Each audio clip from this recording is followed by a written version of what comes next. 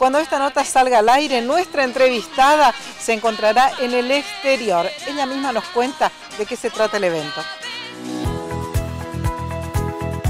Yo creo que este es muy buen augurio y la verdad que súper feliz. Este, estoy bueno, arrancando, capacitándome. Se ve se viene un 2018 con muchas novedades, con muchas capacitaciones, con muchas invitaciones, así que la verdad que me siento profesionalmente plena y muy contenta. Cuando esta nota salga al aire, ¿dónde va a estar, doctora Soraya Narváez? Y estaría por Berlín con un poco de frío, con un poco de nieve. Este, bueno, estoy viajando del 2 al 12, este, me invitada por Laboratorios MERS este, a conocer, esto es algo que nunca han hecho los médicos, eh, la planta donde se fabrica la toxina botulínica alemana, de estos laboratorios que está a dos horas, en un pueblito a dos horas de Berlín.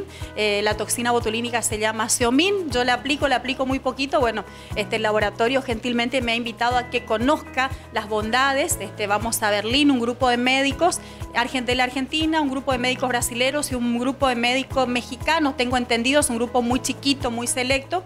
El primer día tenemos una masterclass con el desarrollador de la toxina, este, que es un médico alemán. Después tenemos una capacitación con un médico alemán también.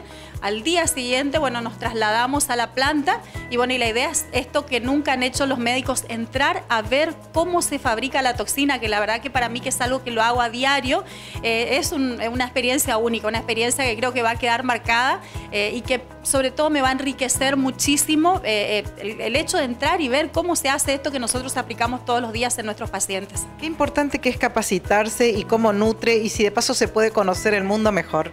La experiencia, ¿no? la, la riqueza, esta, esta, siempre yo digo es una bendición el llegar a esta instancia, a esta altura de la vida eh, profesional en donde uno pueda eh, disfrutar de conocer lugares, conocer colegas de otros lugares, porque viajo siempre con un grupo de médicos de distintos lugares del mundo.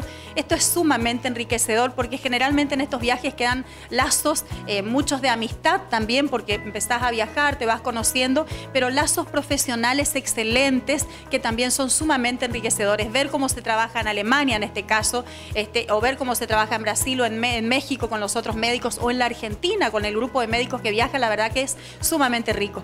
Buen viaje, doctora. Nos vemos al regreso. Muchísimas gracias, como siempre, Roxana.